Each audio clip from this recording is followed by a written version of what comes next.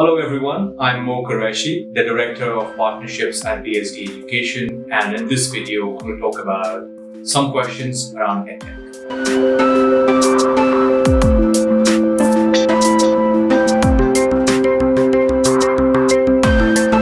So basically, computational thinking is a method for solving problems. Uh, it's a way to articulate problems in a way that computers understand and also expressing them in the ways that computer can solve.